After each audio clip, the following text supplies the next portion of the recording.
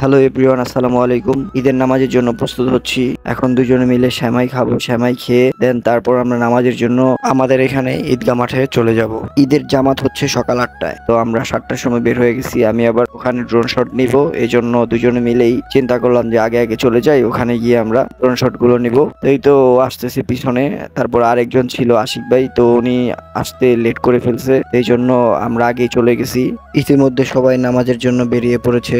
ঈদের সালামি দিয়ে চলে যাচ্ছি মাঠের দিকে তো ওখানেই আমাদের ঈদের জামাটি হবে। এই তো অলরেডি মাঠের ভিতরে ঢুকে গেলাম। তো এখন আমি চিন্তা ভাবনা করতেছি যে কোথায় গিয়ে কীভাবে শটটা নেওয়া যায়। তো আমরা এখন আস্তে আস্তে ভিতরে যা এবং শুটগুলো কীভাবে নেওয়া যায় সেটার প্ল্যান করতেছি। তো মাঠের ভিতরে গেলাম, দেখলাম মাঠে অনেক মানুষ আসছে। এখনও অনেক কাতার খালি আছে। অলরেডি চলে আসতেছে নামাজের জন্য সবাই। আমি একটু সামনে গিয়ে দেখলাম যে কি অবস্থা। ও অলরেডি বসে গেছে। আমি ড্রোনটা নিলাম, নিয়ে এখন ড্রোনটা সেট করতেছি। ড্রোন সেট করা শেষ হলে মাঠের কিছু ভিডিও শুট নিব। এদিক দিয়ে অলরেডি অনেক মানুষ মাঠে চলে আসছে। আমিও অলমোস্ট সব শেষ করে ফেললাম সেট আপ নামাজের জন্য সবাই প্রস্তুত হচ্ছে। এর ভিতরে আমি, এর ভিতরে সব ড্রোন শট নেওয়া শেষ করে ফেলছি। নামাজ শেষ হলো, তো এখন খুতবা পড়ছে। তো আমরা এখন বসে আছি। এখন চলে যাব বাসায়। বাসায় গিয়ে সবার সাথে দেখা করে সালামিটা নিয়ে নিব। তো এখন ছোট ভাই আবদার করল যে, আমার সালামিটা কই? আমি বলছি যে, আমাকে সালাম কর, তারপর আমি তোর সালামি দিব।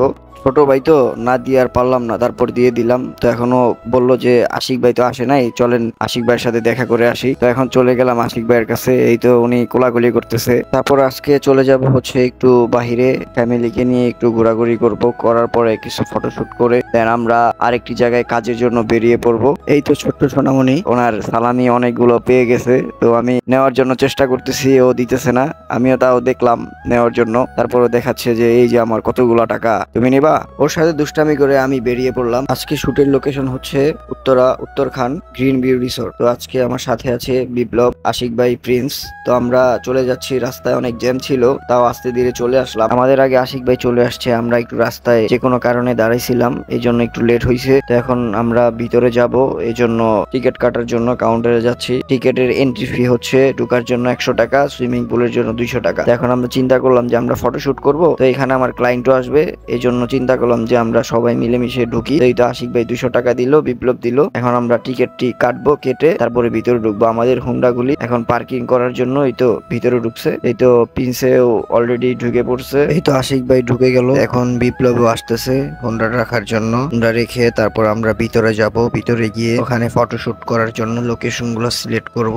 এখন চলে যাব ভিতরে। ভিতরে গিয়ে আমাদের লোকেশন গুলি সিলেক্ট করে রেখে দিব। তারপর আমাদের ক্লায়েন্ট আসলে তারপর ওনাদের ফটোশুটটি এখানে কমপ্লিট করব। অলরেডি ভিতরে আমরা ঢুকে গেছি। সুন্দর একটি লেক লেকের উপর দিয়ে ছোট একটি ব্রিজ চলে গেছে। এখানে আমরা কিছু ফটোশুট করব। ওরা ঘুরে ঘুরে দেখতেছে ওদের ফটোশুটটা কোথায় করা যায়। তারপর আমি ওখানে ফটোশুট গুলি করে দিলাম। প্রিন্সকে বললাম যে, তো, তোকেও কিছু ফটোশুট করে দিই। ও বলে, না ভাই, আমি ফটোশুট করব না এখন। আমার মনটা ভালো নেই। এর ভিতরে ক্লায়েন্ট ফোন দিল যে, ভাই, আমরা চলে আসছি। আমরা এখন কোথায় আসব? আমরা বললাম যে, আপু, আপনারা ভিতরে ঢুকেন। এখানে কার পার্কিং করা। ওখানে আমরা আছি। আমরা ওখানে কিছু ফটোশুট করতেছি। ফটোশুট শেষ করে সামনে আগালাম। তারপর দেখলাম যে, এখানে খুব সুন্দর সুন্দর হরিণগুলো আছে। আপনারা আসলেই দেখতে পারবেন যে সুন্দর সুন্দর হরিণগুলো। তারপর আমি আমার ক্যামেরাটি সেট করে ফেললাম। ওরা মেকআপ করতেছে। তারপরে হচ্ছে ও বসে বসে চিন্তা করতেছে হাই হাই আমার কি হলো? তারপর ক্লায়েন্ট আসার পরে বাবুটির ছবি তুলে ফেললাম। তো ওনার ফ্যামিলির ছবি তুললাম। তো ওনার ছবি তুললাম, কিছু ভিডিও করলাম। বাবুটি মাসাল্লাহ খুব সুন্দর। আলহামদুলিল্লাহ ঈদের দিন শুট করে ভালোই লাগল। ক্লায়েন্টটা অনেক ভালো ছিল। আমাদের আজকের ভিডিওটি এই পর্যন্তই। যদি ভালো লেগে থাকে, অবশ্যই লাইক ফলো দিয়ে আমাদের পাশেই থাকবেন। আল্লাহ হাফেজ।